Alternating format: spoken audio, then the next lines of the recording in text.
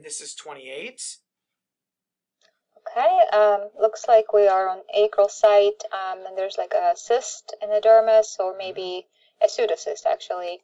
Uh, no true lining, uh, so good for digital uh, mucous cyst. Exactly, digital mucous cyst. If you took this picture right here and you put it in the wrist deep down, I would call it a ganglion cyst. They are supposed to not connect to the joint, is what people say, but I swear they look just like ganglion cysts most of the time. You can actually see the mucus in there. Sometimes they can spill out and make a loose myxoid dermal change, um, and like right here, perfect sometimes all you'll see is this. If you see a papule on the nail fold and it has a myxoid or mucinous looking loose dermis, it's almost certainly a digital mucous cyst. So sometimes you just see that and don't see a cystic space. Sometimes you see the cystic or pseudocystic space, as you properly said, and it's got the mucin in it. Sometimes that washes out.